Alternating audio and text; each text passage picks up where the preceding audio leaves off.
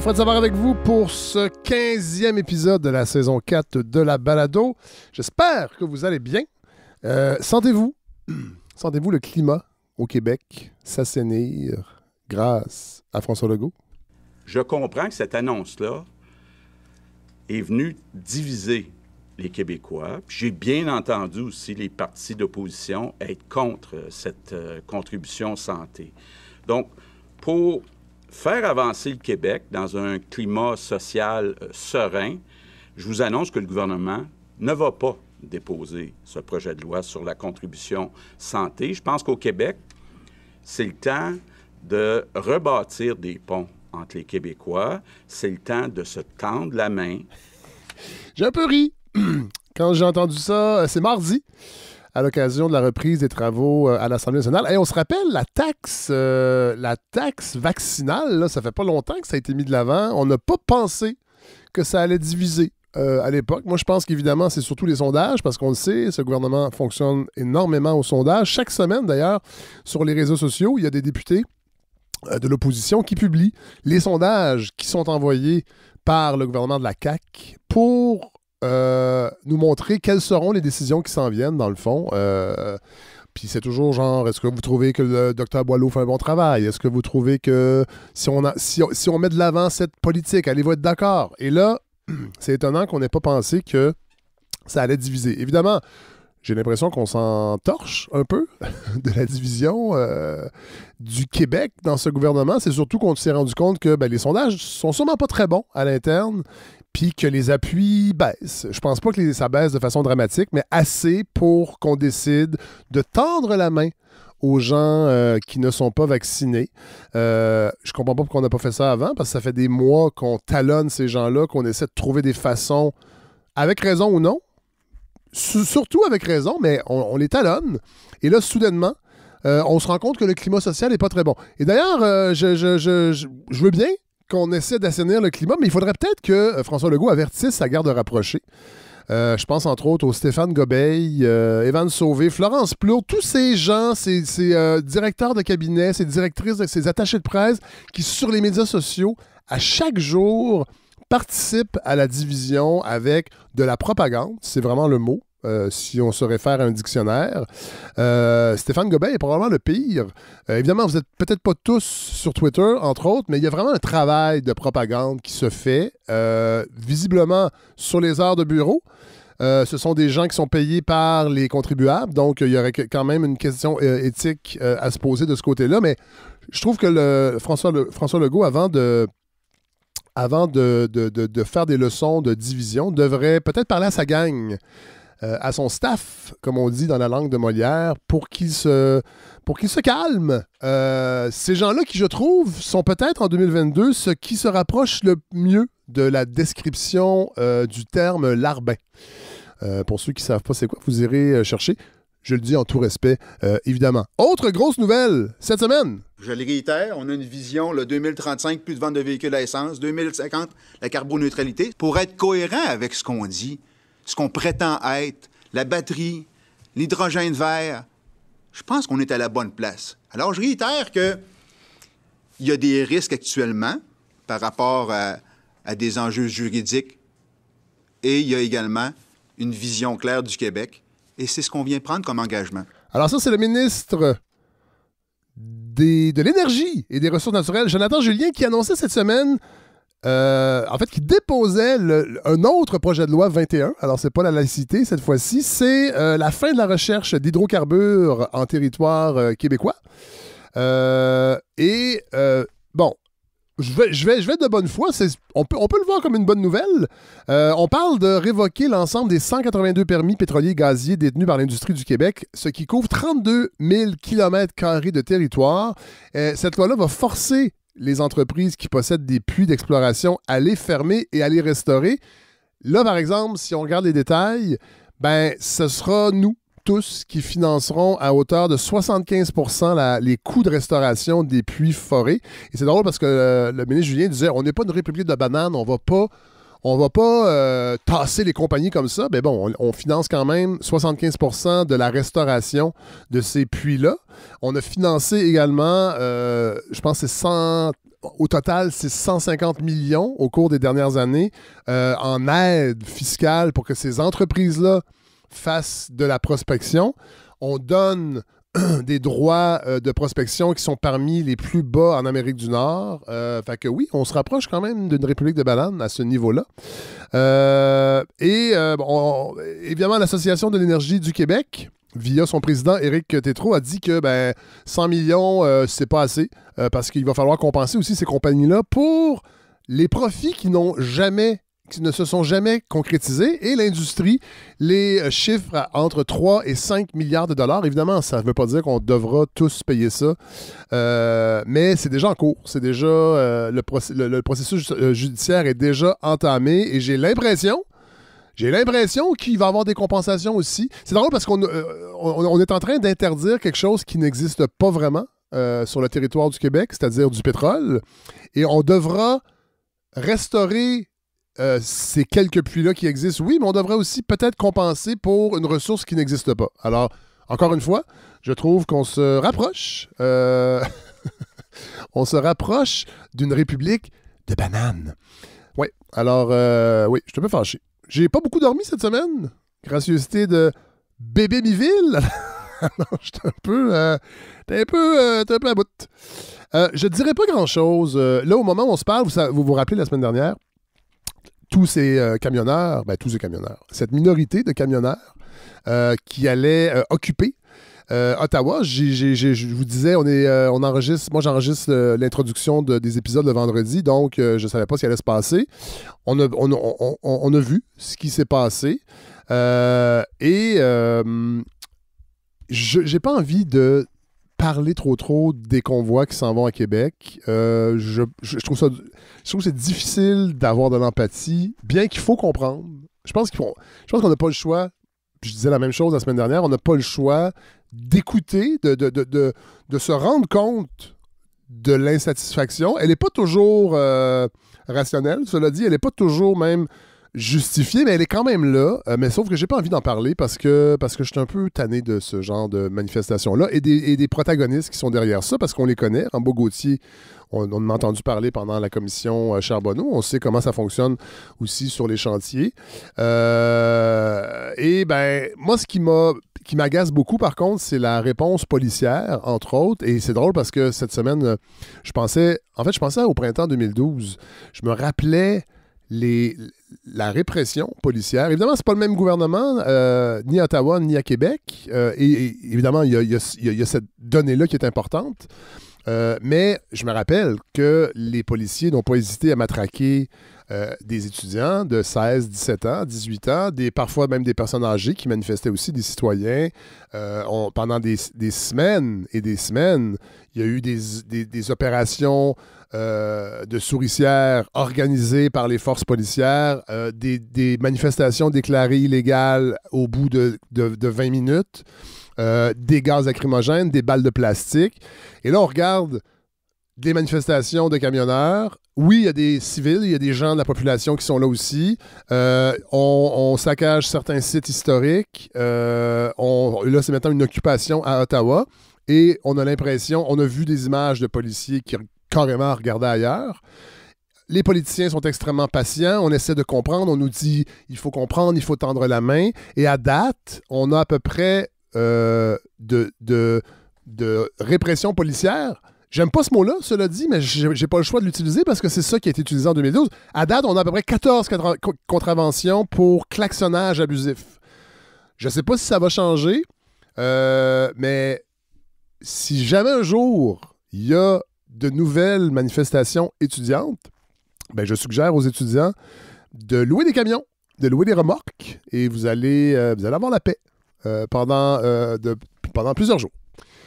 Oh, petit mot sur ce qui s'est passé dans une école du Tennessee. Vous avez vu ça passer, le retrait de la bande dessinée Mouse de Art Spiegelman sur, ben, en fait, le récit de son père, si ma mémoire est bonne, euh, de l'Holocauste, en fait, qui a vécu l'Holocauste avec des souris. Euh, c'est un grand classique qui a gagné euh, un Pulitzer et qui a été retiré d'une école à la demande des parents, d'une école du Tennessee. J'ai vu passer un article dans Slate vraiment intéressant d'Emily Knox, qui est professeur associé à l'Université de l'Illinois, qui a écrit un livre qui s'appelle Book Banning in 21st Century America et qui expliquait que ben, les, les observatoires, euh, de, si on pourrait dire, de la liberté d'expression, ont, ont, vu une hausse de ce genre de, manifestations-là. Et habituellement, on l'attribue euh, souvent. En fait, ici, quand on entend parler, c'est euh, parce que ce sont des universités progressistes, ce sont des, des, militants de gauche. D'ailleurs, ça m'étonne que Joseph, les Joseph Facal, Mathieu Bock-Côté, Christian Rioux, Normand Baillargeon n'en ont pas vraiment parlé. En tout cas, j'ai rien vu dans les médias de réaction par rapport à ça. Évidemment, ce sont des, parents, euh, des, républicains, des gens à droite qui ont demandé le retrait pour cause d'obscénité et de nudité. C'est quand même particulier puisque ce sont, on le répète, des petits dessins de souris et de rats. Euh, et Emily Knox, euh, en entrevue dans Slate, ben, disait que, évidemment, les médias sociaux ont exacerbé ces, euh, ces, ces polémiques-là parce que ben, on lit que c'est arrivé dans une école, alors d'autres parents dans d'autres écoles décident de faire la même chose. Cela dit, elle rappelle que ça a toujours existé. Euh, le, ce bannissement d'œuvres littéraires, et c'est toujours souvent pour les mêmes motifs, oui, religieux, politiques, mais c'est souvent les parents qui ne veulent pas que leurs enfants soient en contact avec des idées et des valeurs qu'ils ou elles ne partagent pas. Ce qui est quand même étonnant ici, c'est que ce sont des, des... En fait, ce sont des gens à droite qui, normalement, ont une espèce de fétichisme d'Israël. Et là, c'est quand même une histoire qui raconte les, parmi les heures les plus sombres de l'histoire de l'humanité, oui, mais d'Israël. Alors là, on est comme. Euh, et c'est ce que Emily Knox, dans ce, dans ce texte, dans Slate, euh, elle, souligne un peu comment c'est, c'est, peut-être plus particulier ce qui se passe dans cette école du Tennessee. Euh, mais elle, elle est quand même assez catégorique pour dire qu'habituellement, les motifs invoqués cachent toujours des motifs plus profonds. Donc, effectivement, ça peut être un peu ridicule qu'on ait peur de la nudité de dessins de souris et de rats.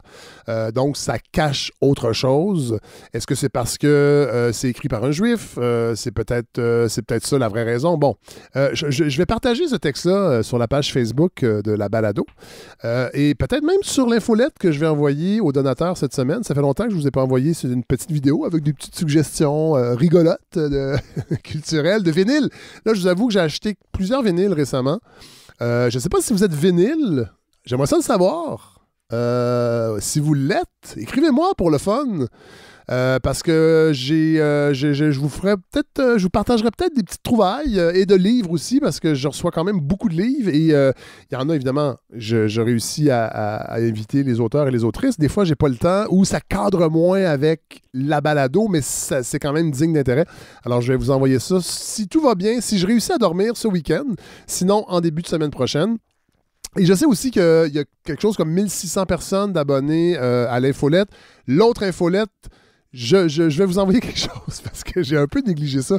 Je l'ai dit, j'aimerais ça tout lâcher juste pour vous. Et là, on aurait plein d'infolettes, plus de balados. On serait tellement heureux. Alors, euh, voilà. Euh, cela dit, ce sera tout pour euh, cette intro-là. On va aller rejoindre cette semaine. On a Marie-Gabrielle Ménard qui est, cette nouvelle chroniqueuse danse contemporaine, art visuel, chose qu'on n'avait pas à la balado. Je suis très content de la retrouver. Elle revient de, elle revient de Toronto, mais elle va surtout parler d'un spectacle de danse qui sera disponible pour tous. Euh, pas seulement à Montréal, entre autres. Et Hélène va, euh, va rebondir sur euh, un texte de Marc Cassivi sur notre rapport à la télévision comme socle culturel au Québec. Et on va prendre aussi à la fin de l'épisode, on va prendre des nouvelles du Chili. Euh, vous vous rappelez, on avait euh, notre, antenne là-bas, Bertrand Irache, euh, qui est installé là-bas euh, depuis, depuis 17 ans et qui nous parlait des manifestations qu'il y a eu l'an dernier. Mais là, il y a eu les élections et on va aller découvrir ben, qu'est-ce qui se passe avec ce nouveau président de gauche de 35 ans. alors voilà, c'est ce qu'on ce, ce qu'on vous offre pour ce 15e épisode de la balado. Voilà, c'est parti.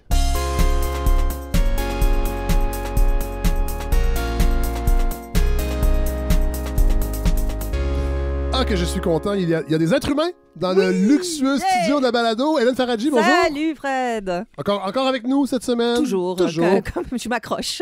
ben, je, dirais, je dirais pas ça.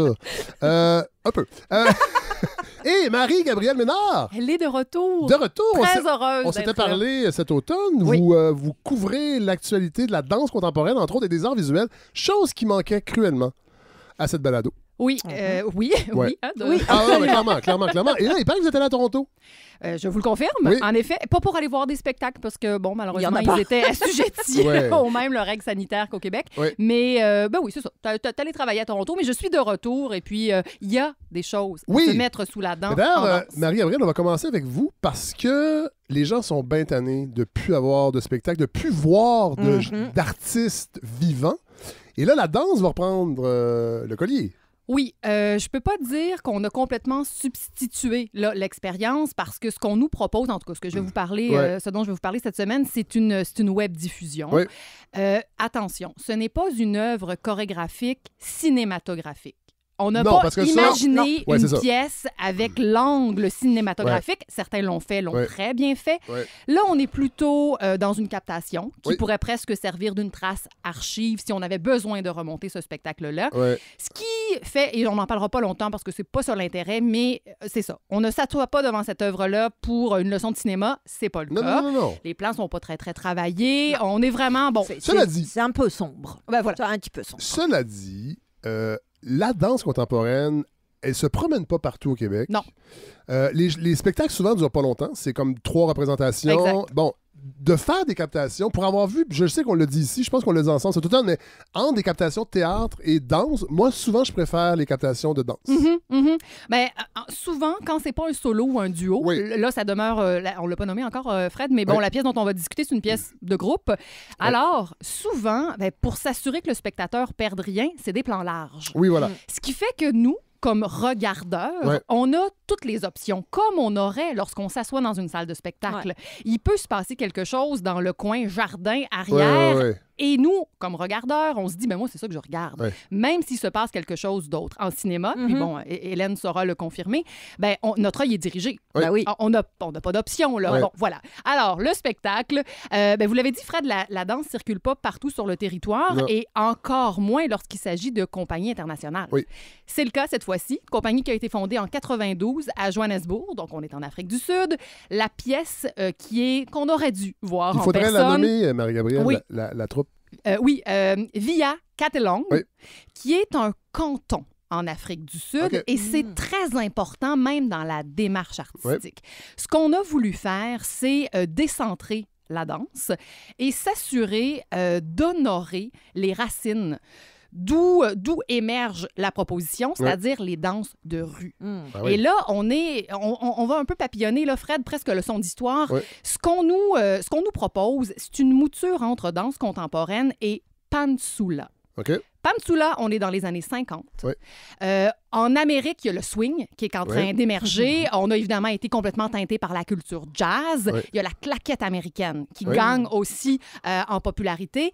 Le pansula, c'est un peu l'ancêtre ou le petit cousin, je vais le présenter comme ça, du gumboots. Ah oui? Ouais, ouais, ouais. Donc, on est dans une podorythmie, on est dans le clapping sur le corps. En faisant un peu de recherche, je me suis rendu compte aussi que le gumboot, c'est en fait, c'est un langage. Ah Comme oui? on a pu le voir avec l'émergence du créole, Oui. c'était utilisé comme des codes. On Hmm. communiquait Ah de ouais. façon clandestine Ouais. entre nous avec le corps. Wow. Wow.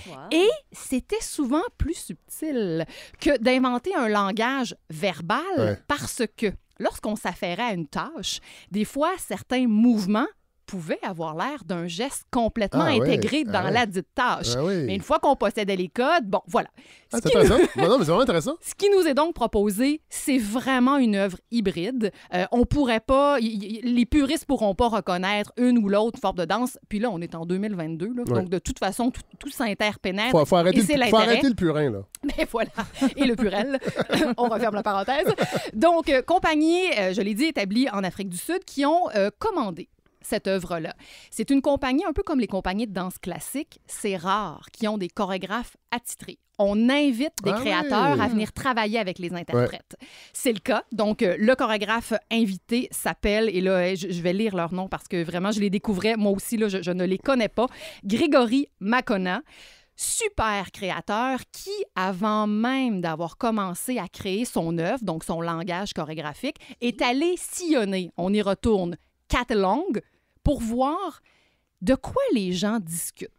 Comment les enfants, les ados s'amusent dans la rue. Il est allé repiquer vraiment du mouvement du quotidien. Ça- on émerge du street dance et c'est ce qui m'a épaté de l'œuvre Via Canana.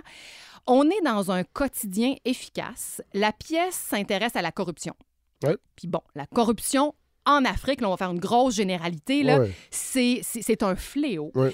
À un moment donné, euh, c'est assez dépouillé, là, la pièce, il n'y a, pas de décor, il y a très peu d'accessoires. On a comme un écran de fond Ouais. sur lequel il va y avoir quelques projections.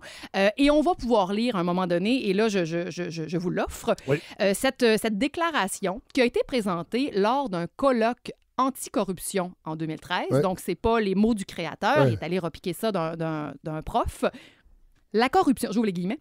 La corruption est quelque chose dont on parle, quelque chose dont on se plaint, quelque chose dont on connaît les effets négatifs, dont même le corrupteur et le corrompu reconnaissent le caractère maléfique.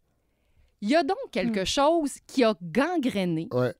plusieurs communautés africaines Mhm. et où on se dit, ben ça y est, on est enfoncé, puis on accepte Ouais. la Il y, marque a, ouais, il y a une connivence complètement. entre euh, Ben oui. le corrompu et euh, celui qui corrompt. Ouais, Voilà. accepte le- Ouais. les, les Ouais. règles du On jeu. a bien connu ça ici. hein. La commission Charbonneau, ça fait pas si longtemps quand même. Tout à On n'a fait. pas toujours l'impression que tout est terminé. Là, le danger, je pense, ben, je trouve, avec les spectacles qui se veulent aussi des dénonciations, Ouais, c'est que parfois, ça peut être caricatural un peu gros. oui. Oui. Particulièrement, Mm. En fait, c'est- en danse, je trouve que des fois, c'est dur. Pour avoir Oui. vu euh, euh, euh, Fr- Frontera, Mhm. euh, qui faisait bien le travail à ce niveau-là, de réflexion politique, mais je trouve que des fois, c'est dur à déceler euh, le message. Ce que j'ai particulièrement apprécié, puis on pourra intervenir, euh, euh, intervenir euh, vous pourrez intervenir, Hélène, Oui. parce que je sais Ouais. que vous avez, vous Oui, je avez euh, regardé le spectacle aussi. Euh, L'œuvre en soi, elle est forte, elle est construite en tableau et on ne s'en aperçoit pas. C'est pas nécessairement euh, mauvais là, quand, quand un spectacle est à ce point assuré. Ouais. Mais là, euh, on, nous, on nous guide euh, de façon très fluide dans différents, je dirais, petites Ouais. scènes de la vie quotidienne. Les danseurs sont des chats d'une agilité exceptionnelle, mais, et là, c'est une Oh. qualité dans ce cas-ci, Ah. On sent pas la formation du danseur. Ah oui! C'est vrai que ça. Moi aussi, j'ai eu cette impression-là. On sentait pas l'espèce de carcan de la danse Ouais, ouais. euh, très travaillé, professionnel. Il y avait quelque chose de très spontané. Puis je pense que ça vient avec l'idée de recréer la, la danse de la rue. Euh, je trouve ça hyper beau, en fait, hyper accessible. Puis on revient avec ça quand on veut dénoncer un propos. Quand ceux et celles qui portent le discours Ouais. sont à ce point éloignés de Ouais. par leur, leur, Ouais. leur, leur virtuosité, Ah ouais. il y a quelque chose auquel nous, je reviens avec ce mot-là, regardeurs, Ouais. c'est plus difficile d'adhérer Ben parce qu'on se dit, Ben ben, oui. moi, c'est tellement pas... On est en fait. Oui, un ça. peu. Ouais, ouais, ouais. Alors que là, au contraire, plus souvent qu'autrement, on va, on va se prendre au jeu. Ils ont l'air de jouer. Ouais, ouais. Ils ont l'air d'attendre euh, le taxi. Il y a des jeux de dés qui s'opèrent. Ouais. C'est après coup. La pièce dure 63 minutes. Une fois qu'on la décante, on se dit OK, là, les images de dénonciation remontent, mais euh, on l'aurait pas su, l'œuvre se tient en soi. Ouais. Et cette sous-couche-là, c'est pas toujours le cas, mais elle arrive à la fin. Puis ça, j'ai trouvé ça Ah ouais, intéressant. C'est comme ah si ouais. son, son, son, son discours se révèle une fois que la recette Ah ouais. s'est déployée. Ah ouais. Il y a quelque chose d'assez Ah ouais. habile. La trame sonore est super intéressante. Oui. J'ai pris la petite note, je connaissais pas le compositeur, Samuel Makatad Kaban. Oui. On est dans de l'afro-électro, mais pas surtravaillé. On est allé chercher euh, certains beats funk. Oui. Euh, Il y a aussi des notes de jazz qu'on reconnaît. On a intégré des bruits du quotidien aussi. Mhm. Je pense à une scène et euh, c'est très, très bien fait. Ça aussi, c'était dangereux. À un moment donné, on, on critique ou en tout cas on braque le, le- le- le projecteur sur euh, la masculinité toxique, sur possiblement violence conjugale. Ouais. Puis là, on est allé complètement dans une bande son épurée. On va entendre des sons qu'on pourrait associer à la nuit, petit grillon, un peu la musique, la- l'éclairage, c'est-à-dire se retamise. Puis encore une fois, on n'est pas dans les gros clichés. Ouais, ouais. Ce qui prime, c'est encore une fois le corps, le corps quotidien. C'est vraiment intéressant. Sachez que si vous allez à la rencontre de cette, cette œuvre-là, euh, Danse Danse, qui présente l'œuvre en Ouais. ce moment en web diffusion à partir du 16 février, propose en complément de, de spectacle, le spectacle dure 63 minutes, un documentaire. Ah oui! Un documentaire de 20 minutes Oui. qui a été euh, dirigé, réalisé par Valérie Lessard. C'est une Québécoise historienne de la danse Oui. qui a eu accès à un nombre incalculable de footage. On va donc, là j'ai parlé hein, de la pansula, là, qu'on Oui. connaît pas ouais. tant que ça.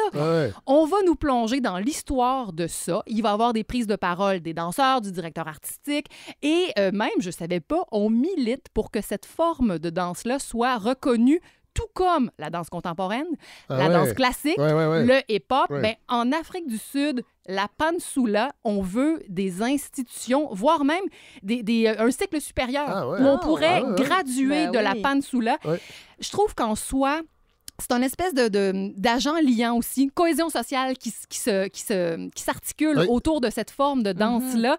Elle est assez démocratique, puis en même temps, elle est, elle est forte. On n'est pas dans de la parade, on n'est pas Ouais. dans un, une espèce de poudre aux yeux un peu, parce Ouais. que, bon, tu sais, de là découle après ça les, le hip-hop, les danses Mhm. de Ouais. rue, le breakdance. Mais ça, c'est, c'est, c'est le berceau. C'est ce qui a permis ensuite ça. Donc, vraiment, moi, le documentaire, euh, des fois, après les shows, hein, on a plus ou moins, ça dépend des cas, envie de rester pour la prise de parole avec Oui, les artistes. il y en a souvent. Oui, souvent. exactement. Dans ce cas-là, là, je trouve vraiment qu'on n'est pas dans une approche didactique. On est dans un complément d'information qui est franchement bien ficelé, qui visuellement est très intéressant. Je, ça, je sais pas, Hélène, je me tourne vers J'ai vous. pas regardé le petit bon. documentaire, je m'excuse. Non, non, ça va. Euh, Mais en fait, euh, je l'ai pas regardé tout de suite. Moi, j'ai eu besoin de décanter l'œuvre. Ouais. Je l'ai regardé plus tard, un petit 20 minutes. Ça, ça se fait tout facile, facile. Puis vraiment, j'y ai trouvé. euh, je- je- on dirait que j'ai même de la misère à, à le prononcer en disant complément d'œuvre. ça a l'air ouais, de la ouais. retaille, là. C'était pas ça du tout. C'est une grande valeur à, à- à ouais. cette production-là. Ouais. Euh, donc voilà. Donc c'est présenté par Danse Danse. Ouais. Puis en Donc, effet, 16, 16 16 dollars. à partir du ah, 16 c'est- février C'est pas cher. jusqu'au 6 mars. Web diffusion Ouais. sur demande. Ouais. Ça veut dire qu'on n'a pas un billet à s'acheter avec une heure fixe où on va devoir être devant son, son, euh, son écran. Ouais. Euh, ça y est, là, une fois qu'on l'a acheté, ben, on a jusqu'au 6 Puis mars. Est-ce que c'est comme Apple, euh, Apple TV, puis on a genre 23 heures pour finir la location, il vous reste 19 heures? non, Non. y a- y a- ça vient pas avec le sablier. Bon, Non. ça c'est bien. On va, on va aller écouter un petit extrait de la, Ah, de- de la musique pour se mettre dedans, Marie-Gabrielle Ménard.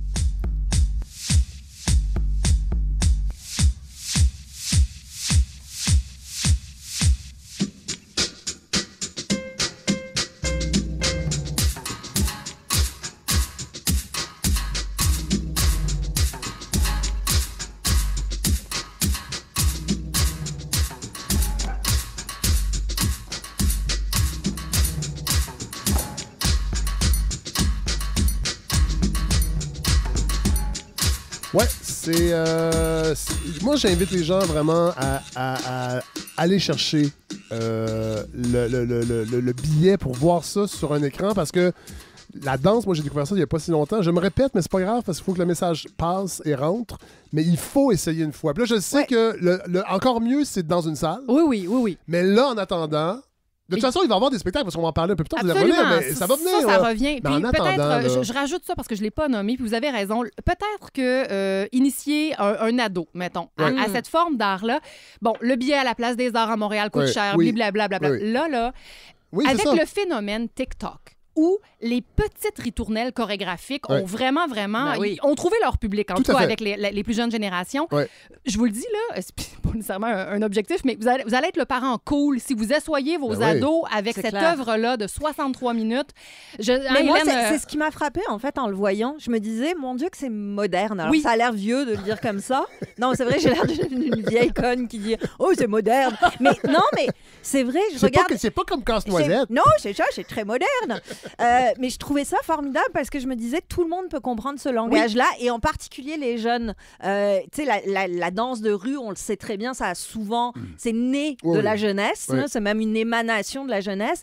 Puis je pense, tu sais, je regardais ça, je voyais du breakdance, je voyais du crump, je voyais plein de choses qui se sont actualisées au fil des années et qui sont hyper accessibles pour n'importe qui. Euh, autant pour euh, la, la grand-mère que pour le jeune ado qui sait pas très bien comment occuper son temps euh, ces temps-ci. Oui. Ce serait vraiment une, une très belle façon de leur faire connaître. Et Via beauté, Canana, on l'a pas beaucoup nommé. via Canana. Et euh, grande beauté de la danse euh, contemporaine, c'est que c'est jamais long. Oui. On n'est pas Et dans voilà, les vrai. trois. Non, mais on n'est pas dans... Non, mais le théâtre, je veux pas dénigrer le théâtre, Mais une pièce de deux heures qui est pas super bonne, ou c'est long en tabarouette. Mais Une- c'est- un- ça un- existe plus. Ah, on non, dirait. je- ben, tu sais, moi, je vois ça en cinéma beaucoup. là. Un film de moins de deux heures, ça n'existe plus. Puis je Peut-être. comprends pas pourquoi. Je... Ah ouais. Tout mérite pas de durer deux Non, heures. non, non. Clairement pas. Non, effectivement. Mais un spectacle de danse qui est pas super intéressant, c'est pas, ça dure pas longtemps. En effet. C'est ça. C'est quand En même, effet. non, c'est vrai. C'est quand même C'est vrai. une qualité. hey, Marie-Gabrielle Ménard, merci. Restez avec nous parce que là, on va aller parler à Hélène. Un sujet qui risque de faire, de, de, de faire discuter dans, Voilà, dans voilà. les chaumières.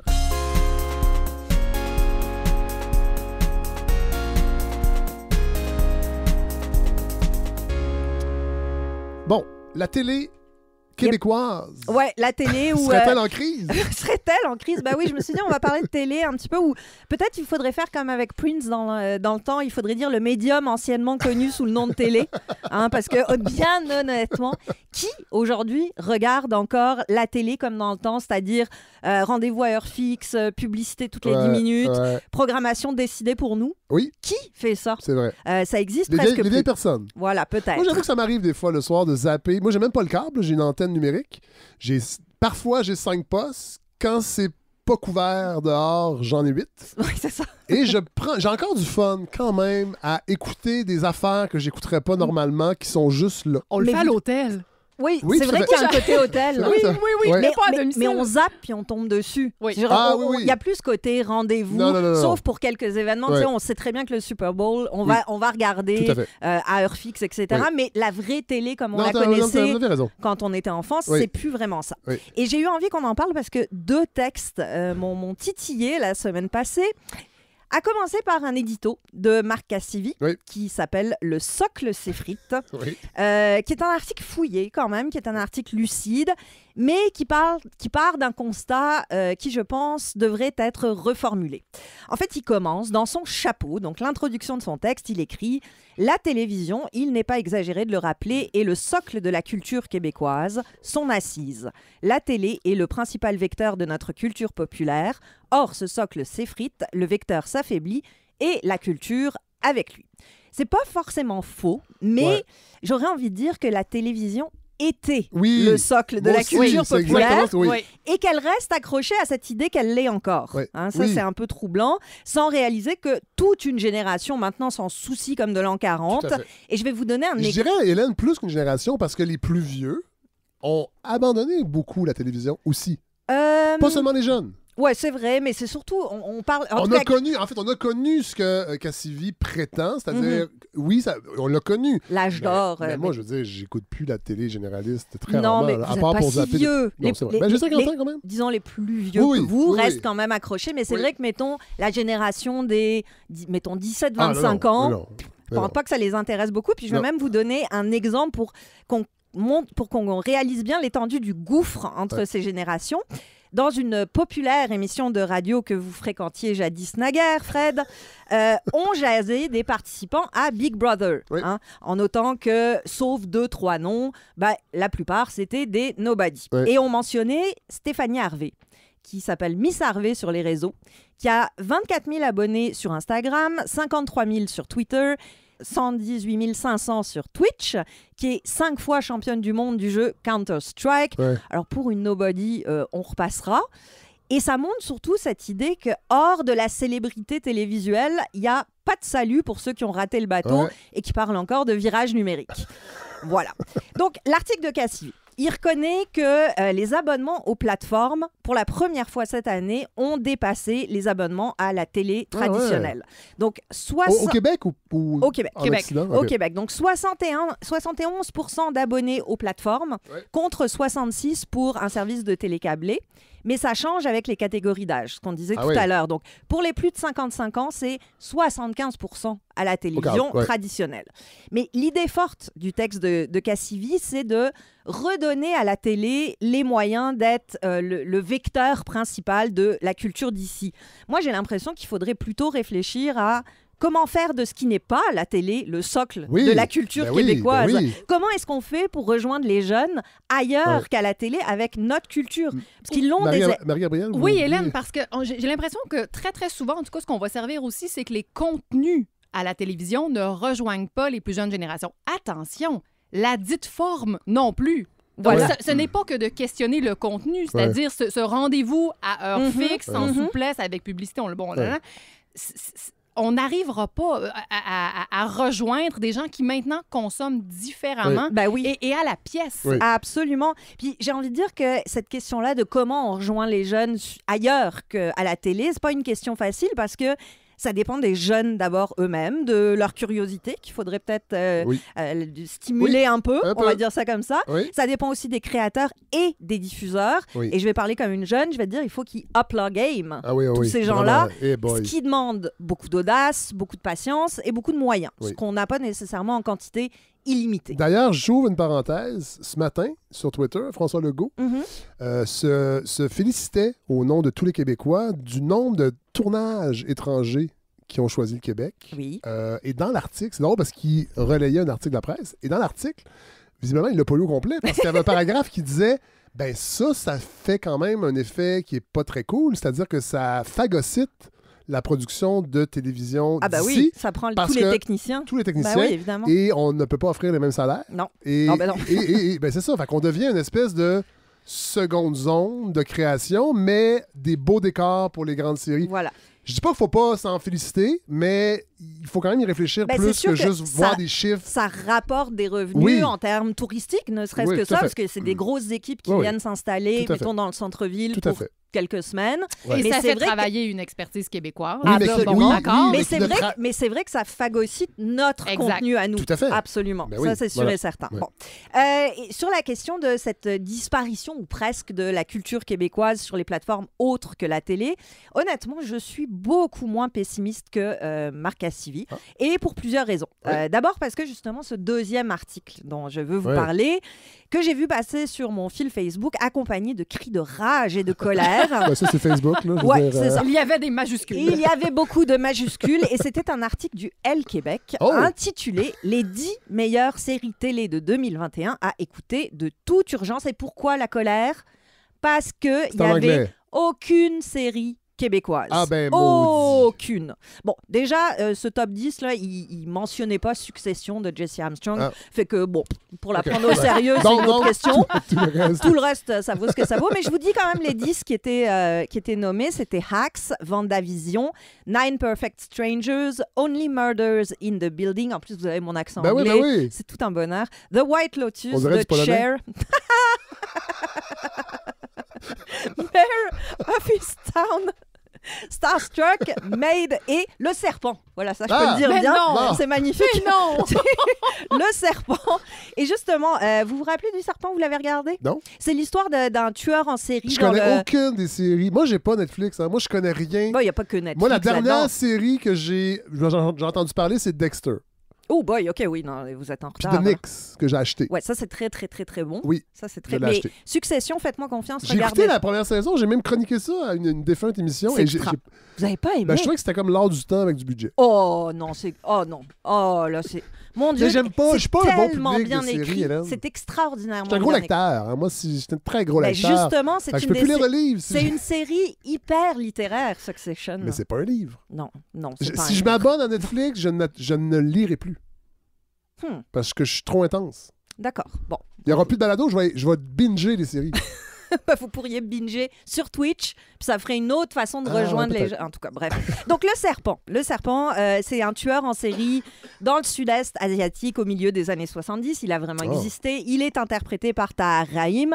Et juste pour le fun, on va écouter comment l'actrice qui interprète la compagne du serpent, la compagne du tueur en série, qui s'appelle Marie-André Leclerc, qui est québécoise. Ah ouais. On va écouter comment elle parle français. On ne devrait pas l'aider? Sure should be fine.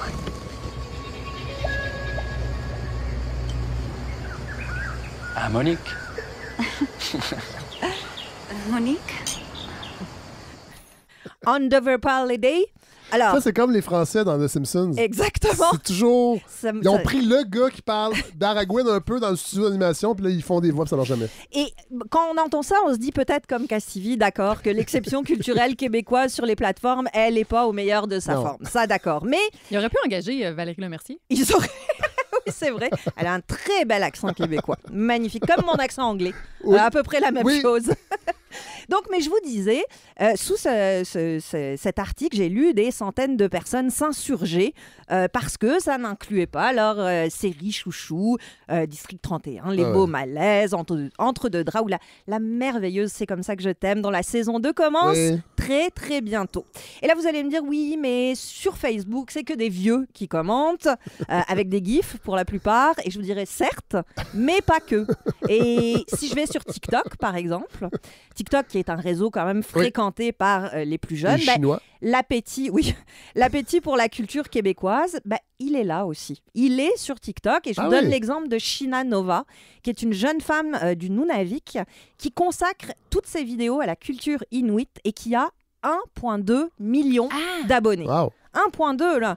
Et nous, nous euh, gens adultes, Oui. on n'en a jamais entendu parler. Mais Mais, non. pourtant, pour les jeunes, Ah ouais. elle est une star. Elle est une vedette de ce réseau-là. Donc, première constatation, si on admet euh, ce postulat que les plateformes mondialisent les goûts, parce que c'est vrai, hein, tout le monde a vu, bon, sauf vous, Fred, mais tout le monde a vu Squid Game, tout le monde a vu Don't Ah. Look Up, tout le monde a vu Tiger King, The Ben, Last Don't Look Up, je l'ai regardé, mais je vous ai écouté la semaine dernière, vous m'avez envie le goût de, suis de regarder. Bon. Bon, c'est ça.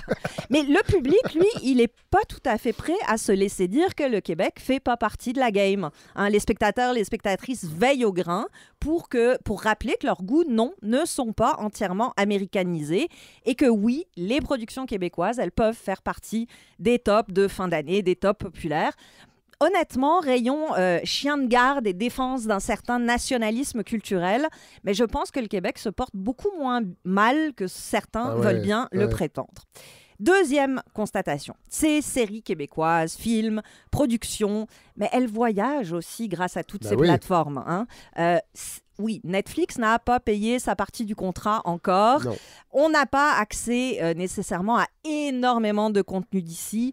L'investissement reste...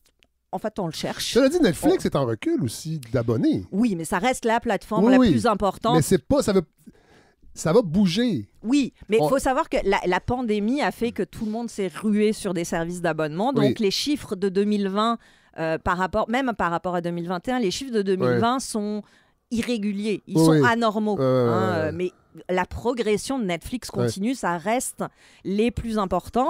Et euh, entre 2020 et 2021, mais on l'a vu, la hausse de contenu québécois sur Netflix. Elle n'est pas immense, mais elle est quand même là. Il y a beaucoup plus de, de contenu d'ici maintenant. Et on en pense qu'on en veut, mais un film comme Le Guide de la famille parfaite Oui. euh, de Ricardo Troggi et Louis Morissette ben, a été vu à travers la planète. Oui.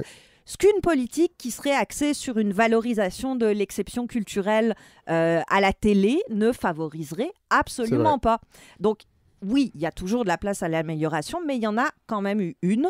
Et cet impact international, bien sûr, on le mesure moins que quand ça se passe directement dans notre cours, mais c'est immense. Ouais, Le oui. rayonnement international de la culture québécoise en ce moment, il est fou.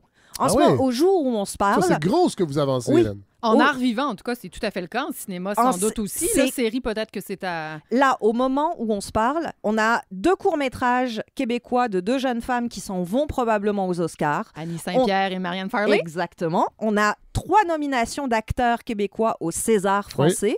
On a deux films plus une série au Festival de Berlin. Tout ça en l'espace de quelques semaines. C'est complètement fou. Les Et la balado est écoutée en Europe aussi. Bon, ben, Je en reçois plus, des messages En de plus, gens en Europe. mais ce rayonnement, euh, il- va, il bénéficie de l'arrivée de, de Ouais. nos productions sur les plateformes. Ouais. Et ça doit être soutenu. Parce que c'est bien que nos séries, elles soient diffusées sur nos écrans télé, oui, évidemment. Mais c'est mieux si elles peuvent être vues partout dans le monde. Oui. Et que nous, bah, on puisse se la raconter en disant Bah ouais, ça vient de chez nous. bah ouais, carrément. Et je prends l'exemple de la Corée du Sud qui fait ce travail extrême, de façon extrêmement pointue et profonde. Et ça marche parce que eux encouragent à une vraie diffusion locale. Je prends Ouais. l'exemple du cinéma.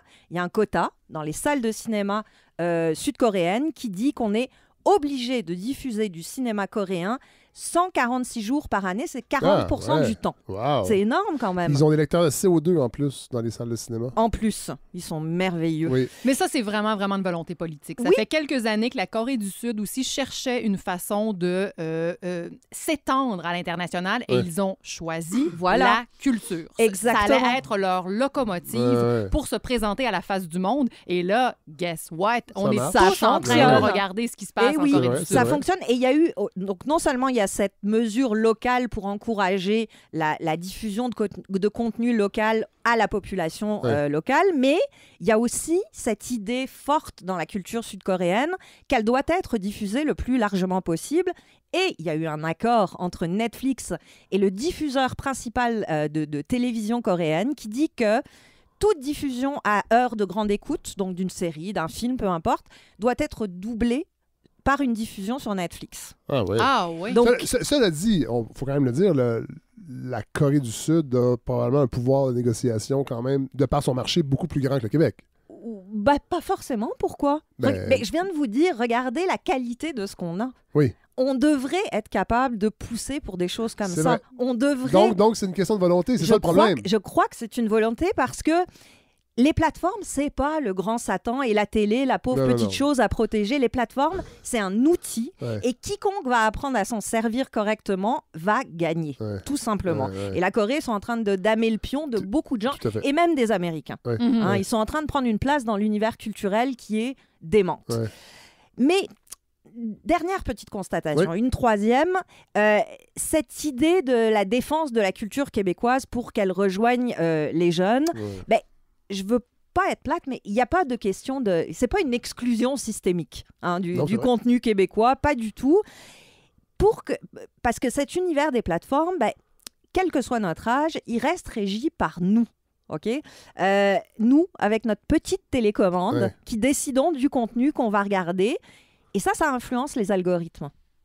Et ça, c'est Ah oui. très Ah ouais. important dans le monde des plateformes. Plus vous cliquez sur des contenus québécois, Ouais. plus vous allez en avoir et plus ça va aiguillonner les plateformes à en programmer rajouter, plus. ben oui, ben Exactement. Et c'est bêtement l'offre et la demande. hein. C'est de la pure économie, mais ça fonctionne. Netflix, Mais là, c'est là, Hélène, quand même, qu'on. Je veux dire, on, a des avantages, ne serait-ce que pour ça avec la parce Corée du Sud, est, quand parce qu'on est moins On nombreux, effectivement, mais on Ouais. a quand même des études Oui, de marché de Netflix local Tout à fait. qui nous permettraient, Ouais. si on, a- on agissait un petit peu plus en spectateur responsable, j'ai envie de dire, que ça change. Parce que oui, Netflix et les gouvernements ont le devoir de mettre en place une politique qui va favoriser l'émergence d'une culture québécoise qui soit forte et ample. Mais c'est aussi au spectateur, à la spectatrice, de prendre ses responsabilités et d'orienter ses politiques. Parce que la culture québécoise, elle ne mourra et ne s'effritera que si les gens ne la regardent plus. Hein. C'est pas parce que Netflix va mettre 40% de plus que les, de, de contenu québécois que Ouais. les gens vont regarder ce contenu-là. C'est parce que le contenu va être bon. faut up leur game, Oui. hein, comme j'ai dit Comme le disent les jeunes. comme le disent les jeunes. C'est parce que ce contenu sera soutenu par des critiques dignes de ce nom, Oui. qui a un regard éditorial Oui. sur ce qu'on fait. C'est parce que ce contenu sera inclus dans les programmes scolaires. Ouais. hein. Ça, c'est important que cette possibilité de choix conscient vers le contenu québécois soit encouragée dès l'enfance. Et je crois qu'il y a encore une autre solution, c'est que ces jeunes qui consomment des YouTubers, des TikTokers dont parle Marc Cassivi dans son texte en disant ben oui, il y a beaucoup de YouTubers québécois, heureusement, mais mes enfants euh, vont regarder ces contenus-là. Mais il faut aussi que ces YouTubers et ces TikTokers québécois parlent de culture. Oui. Qu'ils la défendent, Oui. qu'ils la mettent de l'avant. Alors, on dit souvent, moi je dis souvent, on a la culture qu'on mérite. Hein. Oui. Et il nous appartient à nous de comprendre que les plateformes, non seulement elles ont remplacé, et probablement pour toujours, la télévision traditionnelle, mais qu'elles sont à notre merci. Nous méritons ce que nous décidons de regarder. Alors, je vous conseille à tous et à toutes de prendre exemple sur nos vénérables héros, Gilles Vigneault, Neil Young, John Mitchell, Johnny Mitchell. Tenez-vous debout avec votre zapette entre les mains, puis affirmez vos valeurs et votre morale. Ah, c'est une très belle réflexion, Hélène Faradji, vraiment. Euh, c'est drôle parce que j'ai l'impression que Marc Cassivi, ce qui déplore, Mhm. c'est la c'est très québécois aussi là, c'est le consensus encore. C'est-à-dire que on regarde tous la même chose. Ça n'arrivera plus. La messe. C'était comme ça avant. non, ça, mais c'était comme ça. Oui, Exactement. mais c'était comme ça avant. Et là, les contenus et les publics sont disloqués, mais comme vous l'avez très bien démontré, ça veut pas dire. Qu'on est en danger. Au Non, contraire, voilà. c'est C'est vraiment d'apprendre. intéressant. C'est il y, il y a des ça sert à rien de se crisper sur le c'est plus comme avant. Non, Ouais. c'est plus comme avant et tant mieux, j'ai Ouais. envie de dire parce que il y a mille et une nouvelles avenues à explorer pour que le contenu québécois soit mis de l'avant, soit consommé, soit utilisé euh, d'une façon qui est la plus vaste et la plus intelligente possible. Puis les réseaux, les plateformes peuvent nous aider Ouais. à ça. C'est pas l'ennemi. Euh, et la télévision, honnêtement, même si elle reste euh, le- le- l'objet le, plus fréquent dans les salons de, Oui. de toutes les familles québécoises, ben, elle a plus cette place Non. de prescripteur de la culture. Non. Et Il reste le sport. oui, bah oui, mais en même temps, le sport, on va, on va de plus en plus, on peut le regarder en s'abonnant à Tout des à services euh, sur Internet. Mais il reste ce, ce rendez-vous à grande écoute. Ah Oui, oui, il parce reste le qu'on sport. oui, Oui. parce qu'on l'écoute pas en différé, Non. Peu de gens le font. en rappel, non. Non, c'est vrai. À part les gens qui ont une vie sociale réduite. mais... C'est- formidable aussi de temps en temps d'avoir des rendez-vous communs où on sait qu'à la même heure, on l'avait vu avec la face cachée de la Lune Oui. euh, l'an dernier qui Oui. était passé en direct Oui. sur Ça, c'était Télé-Québec. cool, ça. Tantôt, je parlais des captations théâtre. Des fois, j'aime moins ça, mais ça, c'était très cool. C'était très cool parce Ouais. qu'on avait le sentiment de vivre quelque chose tous ensemble. Mais on peut. C'est pas parce qu'on regarde. Mettons, je sais pas moi, on a une nouvelle série québécoise extraordinaire qui débarque sur Netflix. Mettons. Oui. hein. Si vous la regardez le lundi, puis moi je la regarde le jeudi, mais on l'aura vu pareil ensemble. C'est pas grave si on la voit pas exactement au même moment. L'événementiel pourrait très bien devenir la propriété, la chasse gardée de la télé. Mais tout le reste, il y a tout un champ à investir. Puis il s'agit juste d'être un petit peu plus wise que les autres pour, y- pour réussir à en faire nos plateformes. Ouais, vraiment. Super réflexion. Hey, vous, vous- euh, je termine une troisième fois avec ça.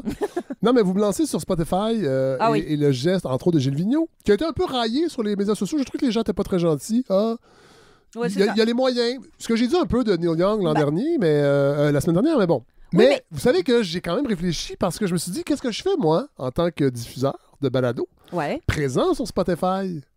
Est-ce que- Vous Parce que retirez je, la non, mais je suis de- encore en découvrabilité. Le projet n'est pas. Je suis pas comme M. Vigneault. Non. Euh, je suis pas assis, je veux dire, je suis pas assis sur une carrière florissante. Parce qu'il y, a- il y a quand même ça dans la balance. On a, Ben oui, il y a ceux qui peuvent se permettre de retirer leurs œuvres, puis ceux qui peuvent pas. On parce est- que j'ai demandé à Larry, Larry qui, qui, euh, co-réalise euh, la balado avec moi, de, de- puis c'est lui qui s'occupe de le- mettre, mettre la balado en ligne, d'aller voir c'est quoi le, Ouais. Spotify versus Apple Podcasts. Et l'an dernier, 28 000 téléchargements sur Spotify. Ouais. 187 000 sur Apple Podcasts. Ah, donc de toute façon. Là, il y a d'autres plateformes aussi. Là, c'est pas les téléchargements totaux, là, parce qu'il y en a qui l'écoutent en streaming. Bon. Mais là, je me disais, est-ce que je retire à balado et c'est 28 000 t- C'est quand même. Mais je pense que quand les gens aiment quelque chose, ils vont le suivre. Je crois. Ouais. Je crois. Parce que, tu sais, j'ai chialé, chialé sur Spotify, mais je suis encore là. L'habitude de la plateforme n'est pas aussi forte que l'envie de suivre un projet qu'on aime. Moi, je, Ouais. je pense. Ben, je lance pense la que- question. Non, mais je lance la question aux auditeurs. Aux Ouais, auditeurs. Bah oui, c'est ça. Écrivez-nous. Oui. Dites-nous. Ouais. Est-ce que vous nous suivriez si on se retirait euh, Ouais. Est-ce que vous prendriez un, un abonnement à Apple Podcast? Est-ce que vous changeriez votre téléphone? C'est vrai. Ouais. C'est vrai qu'il y a ça. Ouais, ouais, ouais. On y pense. Hey, On y merci. Euh, Hélène, on se retrouve la semaine prochaine? Oui, monsieur. Marie-Gabrielle. Ah, on a- maintenant. euh, non, non, non, mais on a déjà un rendez-vous, là. On Ah, s'est écrit, mais ça, c'est dans deux semaines. C'est vrai. Parce oui. que le, le truc au Musée des Beaux-Arts. Oui, euh, Le truc au musée, c'est bien, euh, Non, bien vendu. balado. C'est- balado. Oui, voilà. Le truc au musée des beaux. Il n'y Soyez a, là. il n'y en a Ne- qu'un seul. Ne ratez pas cet événement. Un passionné de culture. Hey, merci. Salut.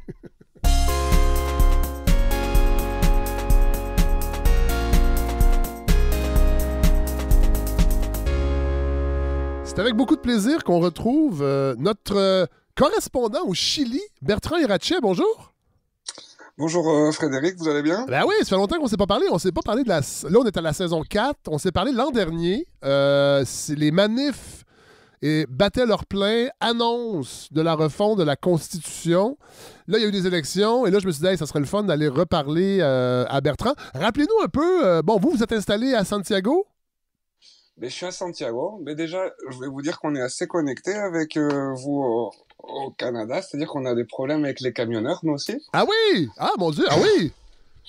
Mais c'est une vieille tradition au Chili. Rappelez-vous qu'en qu'en 1973, euh, il y a Pepsi Cola et le, le gouvernement américain qui avaient payé les, les camionneurs pour bloquer le pays. Et ça avait été un Ah, des, ouais. des grands moteurs de la chute d'Allende, vu que le pays avait été de- sans, sans provision, sans approvisionnement, et ça avait précipité la chute euh, d'Allende. Ça veut dire qu'on aurait peut-être présentement un coup d'État qui se prépare au Canada? Euh, ou au Chili, je sais pas, ça a l'air de spoiler. Ah non, Là, non, non, pas non, non, mais c'est ça. Là, je veux que le- les auditeurs, les auditrices, parce que là, on a des nouveaux auditeurs et auditrices. Euh, Évidemment, la balado euh, accroît son, euh, son rayonnement. Il y a des gens qui vous ont jamais entendu. Donc, vous êtes installé à Santiago depuis combien de temps? ça fait 17 ans Bon, suis au 17 Chili. ans. OK. Euh, vous êtes dans le domaine euh, des arts, culture? De, de de- je fais, oui, je, je représente des artistes, euh, des, des musiciens, puis des, des peintres digitales. Bon, voilà. Et euh, là, 19 dé- En fait, les, dernières élections euh, se sont déroulées en deux tours, 21 novembre, 19 décembre 2021. Et c'est Gabriel Boric qui a été élu avec 56% des voix. Euh, Parlez-nous un peu de, Gabriel Boric. Je pense que les, Chiliens l'ont découvert euh, en 2011. C'était un des, leaders étudiants, c'est ça? Alors, si vous voulez, il faut préciser que c'est 56% des voix contre l'extrême droite. Oui, voilà. C'est-à-dire... euh, Du président écoutez, sortant, euh, Sébastien Piñera, c'est ça? Si vous voulez, le, le- le personnage de Gabriel Boric, il, a- il est, il est très, très séducteur euh, par rapport, comme je vous disais, à, la- à une victoire par rapport à l'extrême droite. Oui. Et, et dans un contexte euh, d'opposition au gouvernement de Sébastien Piñera, qui, euh, après sa première année au, au, gouver- au pouvoir, a, a eu de, de gros problèmes pour gouverner par rapport aux événements sociaux qu'il y a eu à partir d'octobre 2019, Oui. que je vous avais raconté à Tout l'époque. à fait. Augmentation du transport, du tarif de transport en commun, ça a été vraiment ça le déclencheur de, de- de- du ras-le-bol des Chiliens. Ça a été l'é- l'étincelle, oui, qui a mis le feu à, Ouais. à, à 30 ans de, de mécontentement, d'abus et de, de, de, de manque de, justice sociale. Donc, Boric, euh, parlez-nous de lui. Euh, est-ce que, eh, vous, est-ce que vous êtes content? Est-ce, que vous êtes content du résultat des élections? Et moi, je suis très très content, bien sûr, que, que, que, que, que l'extrême droite ait perdu. Ouais. Euh, je suis très content du, du message qui a été envoyé euh, gouvernement qui était en place. Oui. Je, je- le 19 décembre, donc j'étais dans la rue euh, avec des milliers et des milliers de Chiliens. Ouais. C'était assez incroyable euh, comme célébration parce qu'il y a vra- vraiment, si vous voulez, pour repartir au président, pour revenir au président Allende, Mhm. euh, son dernier discours quand il était euh, quand, quand, il- quand il était assiégé dans, dans le palais présidentiel de la Moneda avant de, de mourir. Euh, il a fait un discours à la radio où il disait que le peuple devait garder espoir, devait garder sa dignité, qu'un jour les grandes Alamedas, donc les grandes avenues allaient s'ou- de, de la liberté allaient s'ouvrir pour lui. Ouais. Et cet événement a enfin eu lieu le 19 décembre euh, 2021. Ouais. C'est-à-dire qu'au moment de la proclamation de la victoire, absolument toute la population de Santiago et, du pays, en particulier de Santiago, est descendue dans la rue et a convergé vers euh, la scène où, où, le- où après le président a célébré sa victoire. Bon. On parle de centaines de milliers de personnes dans Ouais. la rue, dans un mouvement populaire qui, je vous disais, était attendu, je pense, depuis 40 ans. Oui, c'est ça. En fait, on peut parler de, de- de- de- des années 80. En fait, de- depuis, depuis Pinochet, on parlait d'une alternance au pouvoir entre socialistes, euh, qui était la centre-gauche, d- démocrates chrétiens, centre-droit. Euh, ce que je pense au Chili, on appelait la, la coalition de la concertation, mais cette alternance n'a jamais touché euh, à l'ordre néolibéral qui, qui, qui, qui- qui est là depuis longtemps au Chili. D'ailleurs, le Chili est le pays le plus inégalitaire de l'OCDE, quand même. Merci beaucoup. Grande distinction. Euh, c'est, bon, écoutez, c'est un peu les, les doutes que, que, qui viennent un peu avec la, la victoire de Boric, c'est-à-dire que euh, il y a un caractère un peu spécial. Excusez-moi de casser un peu l'illusion. Ah non, non, non, mais, Mais non, mais c'est pour ça qu'on veut vous parler, euh, Bertrand. Il y, a, il y a un caractère un peu spécial avec le personnage. Si vous voulez, justement, par rapport au mouvement étudiant en 2011, euh, l'apparition de, la personne de, de Gabriel Boric, elle est due à l'éviction de la dirigeante euh, étudiante de l'époque, qui est aujourd'hui, du, du reste, sa, sa, sa porte-parole du, du gouvernement, Oui. une ministre communiste du Oui. Parti communiste. Euh, si vous voulez, déjà à l'intérieur du mouvement étudiant et dans, dans, dans les connaisseurs d'un peu de la politique nationale, euh, Gabriel Boric s'est fait connaître un peu comme un traître à cette époque. Ah ouais. C'est-à-dire qu'il a, il a, il a un peu trahi le mouvement étudiant, il a permis au pouvoir en place et, et au modèle, euh, au modèle privé d'éducation de continuer, pour, pour certains, de continuer Ouais. à, de continuer à exister en, en noyautant un peu la, la lutte populaire et en, en asseyant des tables de négociation qui n'ont pas abouti. si Ah ouais. Est-ce que- mais- a- mais Bertrand- Est-ce que cette méfiance-là perdure encore aujourd'hui? C'est ce que vous nous dites, dans le fond. mais, mais ce que- mais si vous voulez, c'est qu'il y a d'autres épisodes. Ah, oui. n'est que- ce n'est que le début. OK. Euh, on a, un- il y y a un grand problème avec Monsieur Boric. euh, Le, ça a été un grand, un grand problème dans sa campagne. C'est-à-dire qu'il y a beaucoup de gens qui sont allés voter pour lui au second tour en, en comme je vous disais, pour lutter contre l'extrême droite, Ouais. mais en n'ayant pas oublié cet épisode, c'est-à-dire que le 15 novembre 2019, en plus haut, au pic de la lutte populaire, au Ouais. moment où la répression était la plus féroce, ce jour-là, il y a eu, le 15 novembre, si je me rappelle bien, il y a eu deux morts sur la place, Ouais. où, où tout le monde manifestait. Euh, Gabriel Boric a été un des principaux leaders pour la signature de ce qui a été l'accord pour la paix, et qui, donc qui a, qui a mené au référendum pour cette nouvelle constitution. Donc, ce qui peut être, ce qui est d'un côté un grand progrès démocratique parce que ça, ça a permis de, de- d'enfin de, de mettre en question la, la constitution de Pinochet qui était le, le, le, la, la grand blocage à toutes les, les réformes, à, à toutes les, les évolutions. Ouais. Si vous voulez, en même temps, cet accord pour euh, grande partie des manifestants a été considéré comme étant ce qui a une nouvelle fois, ce qui a permis à, à Sébastien Pinera de rester au pouvoir. Vu Ouais. que à cette époque-là, euh, la situation était tellement instable, la pression populaire était tellement forte que il était à quelques jours ou presque quelques heures d'être acculé à la démission, si vous Ah voulez. Donc cet accord a été considéré comme une, comme, comme, un- comme une trahison. Et du reste, quelques mois après, euh, Monsieur Boric, qui a, en plus avec son parti, à la suite de ça, on, on, on, en faveur de plusieurs lois répressives de la, de la, de- de- du mouvement, en particulier les lois contre les barricades, les lois contre les, les, les prises de, de terrain. Il y, a, il y a une loi qui était, qui est, qui, qui allait en, à l'encontre. Si vous voulez, il y avait une mode à l'époque des manifestations, c'était d'arrêter les voitures Ouais. et, de per- et de permettre seulement à qui dansait de pouvoir passer.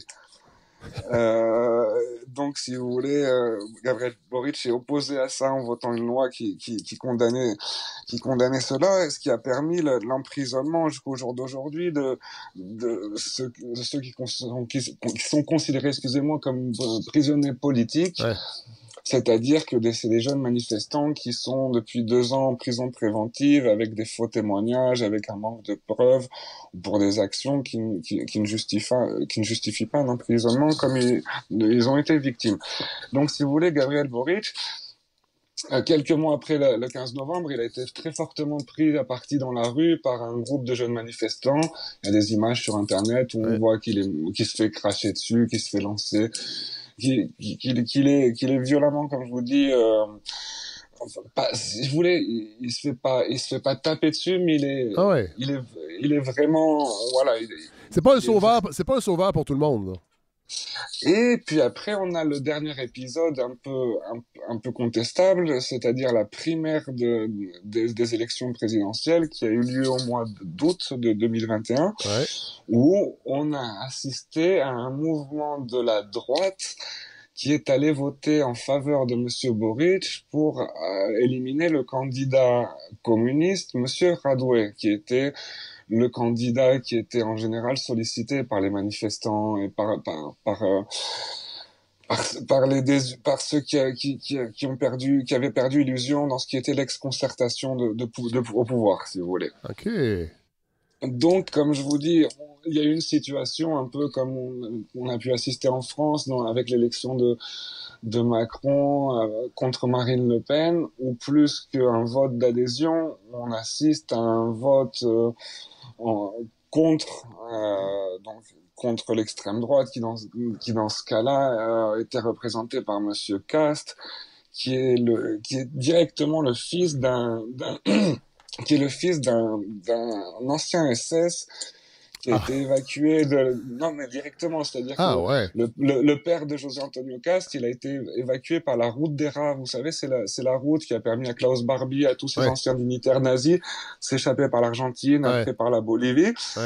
On, on sait que c'est seulement les dignitaires, c'est seulement les, les, les, les, les assassins, les, SS qui ont pris ce chemin parce que les, autres ne risquaient rien en Allemagne. Ouais. Et le, le papa, après avoir, après être arrivé au Chili, après avoir blanchi ses papiers, euh, n'a rien trouvé de mieux que dans, la dans les premiers jours du, du coup d'État en 1973 de participer à la à, à- à l'élimination de 70 euh, ouvriers Ah, agricoles qui étaient en faveur du, du gouvernement de- d'Allende.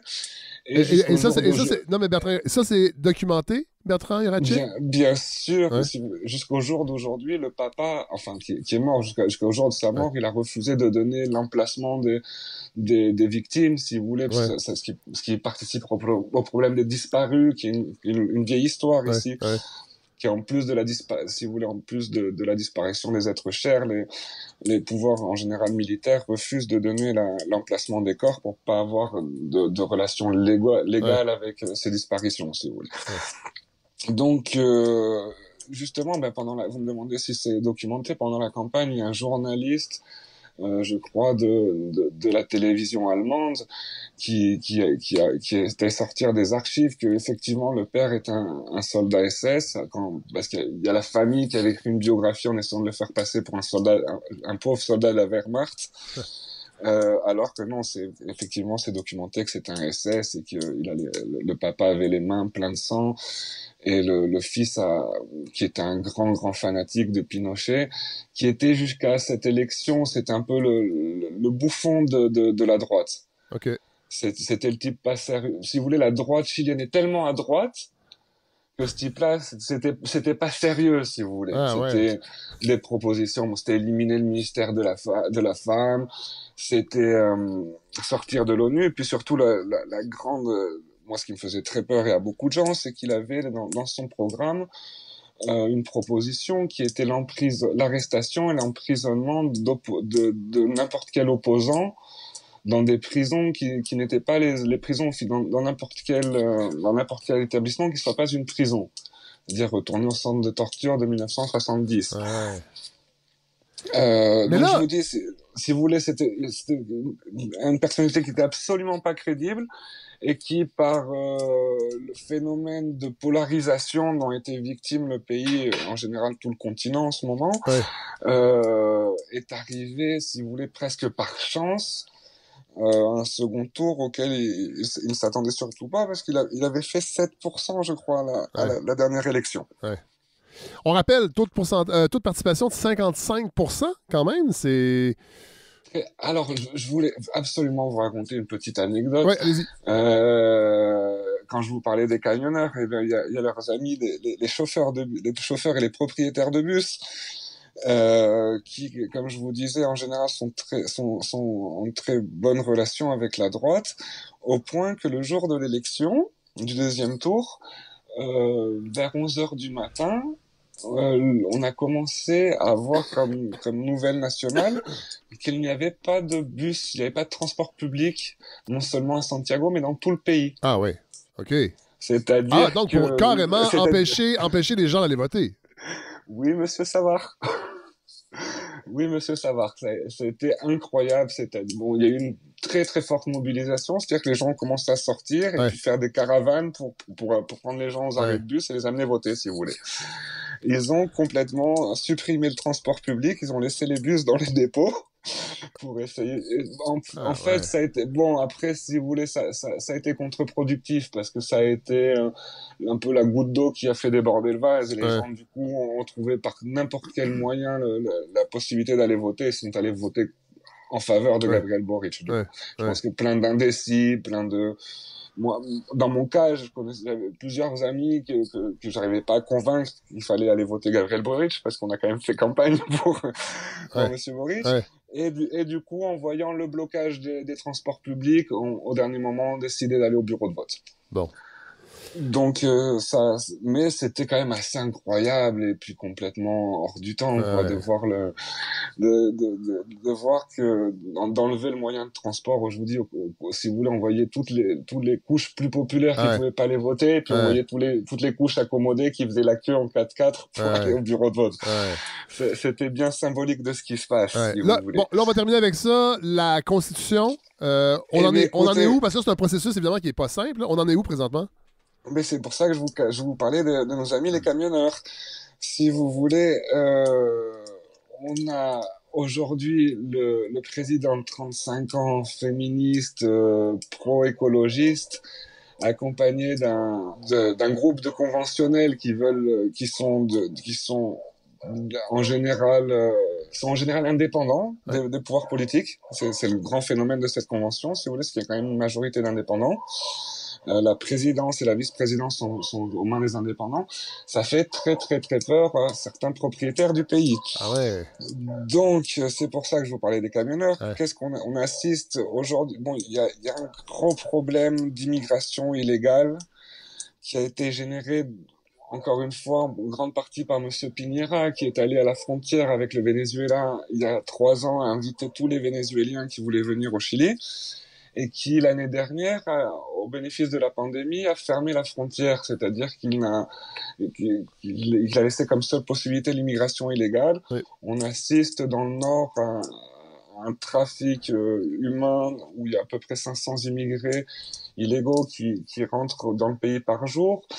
Euh, après un périple qui, qui, a- qui à travers l'Équateur et le Pérou. Si vous voulez, il n'y a absolument aucun, aucune, aucune condition d'accueil dans, dans le nord du pays, ce qui provoque de très grosses frictions avec la population locale Ouais. qui voit arriver euh, des centaines de personnes par, euh, par jour Ouais. qui occupent les places publiques, les, les, les plages, les, enfin, Ouais. qui, qui, qui, qui envahissent bien, bien sûr euh, contre leur volonté, mais qui envahissent l'espace public oui. euh, qui provoquent euh, des problèmes d'insécurité. Et donc, euh, ces problèmes sont manipulés par la droite, c'est-à-dire que là, on a eu une manifestation samedi où on voit les patriotes, donc les, les supporters de Castres, Ouais. Qui vont, qui brûlent les tentes des immigrés, etc., etc. Pour en venir très vite à la Convention, on a le même problème au sud, on a le problème avec le, les, les- Mapuches, qui sont les peuples originaires euh, les peuples natifs qui sont dans une lutte qui est très incompréhensible parce que on voit l'extrême droite aussi qui est infiltrée, qui, si vous voulez, quand on trouve des, des, des armes militaires, en général, c'est chez des militants d'extrême droite. Ouais. Euh, Il y a l'armée, il y a, il y, a un état- il y, a, il y a un état de siège dans le sud. Donc, euh, si vous voulez, le président Boric, il va hériter d'un sud militarisé, d'un nord qui est une poudrière Ouais. euh, du, du centre qui est dans une situation très compliquée aussi avec la pression euh, entre la pression migratoire et puis une explosion de la délinquance qu'on comprend pas trop mais qui, qui est de- magiquement depuis la victoire de, de Gabriel Boric a explosé si vous Ah voulez. ouais. Euh, donc la situation s'annonce un petit peu compliquée. Et pour en venir à la convention, on, on peut il y a une, y a une, il y a une discussion qui a été votée, donc c'est pas une loi, mais Ouais. c'est pas un article, mais ça va rentrer en discussion pour la renationalisation de des ressources minières, Ah ouais. euh, ce qui a provoqué la chute de d'Allende en 73. C'est la nationalisation du Ouais. cuivre. Ouais. Donc, je peux vous dire que la, national... la discussion sur la, nation- la nationalisation avant-hier, eh bien, elle a fait beaucoup, beaucoup de bruit. Elle est, et puis, on, on voit, que- c'est pour ça que je, je reviens sur les camionneurs, on voit immédiatement que, en parallèle, on a, on, on a cette pression immédiate. On voit, on voit que le, à la, quelques jours après son élection, euh, Boric, il a eu une euh, réunion justement avec les camionneurs et à la sortie de la réunion, il y a un des camionneurs qui a dit que la, la grande, le le grand, la grande manifestation qu'ils avaient fait en pleine pandémie en août 2020 avait été commandée par le gouvernement, en sachant que la petite amie de Piñera, son papa est président des camionneurs. Ah ouais. Ils nous avaient déjà bloqué le pays en août 2020. Ils avaient été obligés de lever le blocage après, après les filtrations où il y avait des fêtes des camionneurs avec des jeunes filles de compagnie, des, puis des barbecues sur l'autoroute alors que le pays était en, Ah en ouais. confinement. Ouais. Et donc, du coup, eh ben, on a, à Iquique, là, on a eu lundi, la ville d'Iquique, donc au nord, était bloquée par les camionneurs, euh, qui menacent de bloquer le sud si, euh, s'ils lèvent l'état d'exception et s'ils enlèvent les militaires. Donc, si vous voulez, Ah il y a ouais. vraiment ce- cette pression qui, comme je vous dis, qui, qui est directement liée à la droite parce que les dirigeants, les Ah ouais. dirigeants syndicales des camionneurs sont directement euh, des personnalités de la droite, si Ouais. vous voulez. Ouais. Et on voit que ça, ça, cette tenaille, cette pression est en train de... Enfin, si vous voulez, le- Ouais. le- il, a, il a toujours pas assumé le pouvoir qu'elle est déjà en place. Donc, on ouais. imagine. Donc, Fait que ça, veut dire- trop- Ça veut dire, Bertrand Hirachek, on, on va se reparler bientôt, je pense. On va suivre ça parce que là, c'est une situation exposée. Je vous remercie de prendre ce temps-là parce que, bon, on rappelle, c'est une, c'est une parole citoyenne. Vous n'êtes pas journaliste. Et moi, c'est ce, que, ce qui m'intéresse de, de vous parler depuis qu'on on se connaît, depuis la saison 2, je pense. Euh, c'est d'avoir cette vision, cette perspective citoyenne. Alors, euh, c'était vraiment passionnant parce que de, faire le parallèle avec les camionneurs au Chili et ici, évidemment, c'est pas la même chose, mais reste que il y a des, il y y a des accointances, il y a des, il y a des parallèles, puis de vous parler, ça nous, ça nous, les, euh, met en perspective. Et en plus, ben, on, est toujours content d'avoir des nouvelles du Chili. Euh, alors, merci Bertrand Hirachet. On va se reparler visiblement très bientôt. On va suivre les événements de loin, mais on va se reparler dans quelques semaines sûrement. Écoutez, bon courage à vous. J'espère que la situation de votre côté va se, va se débloquer aussi. Je dirais que on le sait pas, mais je- j'ai l'impression que c'est quand même moins tendu que le Chili. Alors on va se compter chanceux. Moi, je, je vais vous renvoyer euh, ce mot-là de bonne chance et de bon Euh, courage. Après, après, juste pour finir, j'ai voulu vous donner un peu une, si- une, une vision un peu qui, qui change un peu peut-être Ouais. de, de ce que vous pouvez trouver dans les grands Oui. médias, etc. Après, il y a aussi un caractère super positif. On a quand même un président jeune Oui, euh, 35 qui, ans. qui, qui, qui, qui, qui, a été élu parce qu'il y a eu un sursaut populaire justement des jeunes Ouais. qui sont allés voter. Il y a, il y a un million de, de votants qui avaient qui s'étaient jamais cerqués, qui, qui n'étaient jamais mis les pieds dans un bureau de vote Ah ouais. qui ont fait l'effort d'aller voter, Ouais. euh, ils en sont quand même conscients. Si vous voulez, Ouais. comme je vous disais, le 19 décembre au soir, euh, c'était impossible de pas savoir que c'était ces jeunes qui, qui, qui avaient fait l'effort. Ouais. Donc, on, on espère quand même que, qu'on- qu'on- que ce qui s'est passé dans les rues au mois de, au cours du printemps 2019, Ouais. que toutes les victimes et que tout, tout, tout, tout, tout ce qui est, ce qu'on a vécu après avec le, le- le- les punitions de Monsieur Piñera et puis toutes ces malversations vont, vont rester dans le passé, que ça aura servi à quelque chose et Ouais. puis qu'on va réussir à, à construire de quelque chose un peu plus propre et un peu plus juste. Tout à fait. Ben, on va suivre ça avec vous, ben, Bertrand Hirachet. Merci beaucoup euh, C'est moi qui vous remercie, Au revoir. euh, Monsieur Frédéric. À très bientôt. Salut. Merci beaucoup. À bientôt.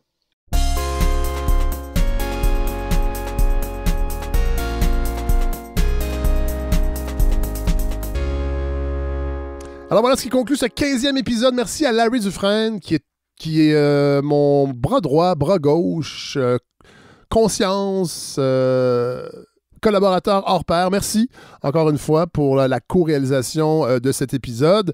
La semaine prochaine, on reçoit Melika Abdelmoumen, qui était déjà venue parler de, Lettres québécoises, vous savez, ce- ce- ce- cette revue littéraire. Et là, qui, on avait parlé de son essai qu'elle préparait sur euh, George, euh, sur James Baldwin et euh, George Tyron. Alors, il est sorti, je l'ai lu, elle va venir nous en parler. Vraiment une réflexion hyper intéressante sur l'identité, sur, oui, sur l'immigration, mais sur aussi comment on parle, comment on se met à, la place de l'autre, comment on peut parler de ce que vivent des groupes dont on ne fait pas partie. Vraiment un essai fascinant. Hélène Faradji, évidemment, sera de retour également. Pour supporter le projet, je sais qu'il y en a encore qui ne l'ont pas fait. Je vous enjoins de le faire si vous aimez ce que vous entendez. Vous allez sur lefredsavard.com, vous pouvez euh, participer financièrement, soit de façon mensuelle, soit en don unique. Ça peut se faire PayPal, Stripe, euh, via Interact. allez dans la section euh, campagne, là, il y a tous les détails, ce que vous pouvez avoir si vous donnez 60 et plus pour la saison. C'est ce qu'on suggère. Ça- ça vous revient à 1,50 l'épisode. 1,50 l'épisode. Franchement, c'est une aubaine. Alors, euh, vous savez, l'objectif, c'est que tout le monde soit payé, évidemment, que, et qu'un jour, je puisse quitter tous mes autres engagements pour vous offrir encore plus d'épisodes, euh, que je m'y consacre encore plus. Je sais pas si ça. Ben oui, c'est possible parce que je ne peux pas le faire complètement à 100%, mais c'est mon rêve que je caresse. Euh, faire fleurir, grandir ce projet-là, puis qu'on aille se promener. Euh, les sorties, là, on est en train de, les finaliser parce qu'on attend évidemment la possibilité de le faire avec la pandémie. Mais j'aimerais ça sortir du Québec aussi, aller en Ontario, aller à Sudbury, aller dans les maritimes, aller en France un jour. Euh, vraiment faire fleurir ce projet, cette parole indépendante d'esprit grâce à vous. Alors voilà, Euh, merci d'être à l'écoute. Merci de vos commentaires chaque semaine. Vous m'écrivez, vous me nourrissez. Merci. Et on se retrouve la semaine prochaine. Bonne semaine pour ceux qui iront euh, au Carnaval de Québec. Bonne chance.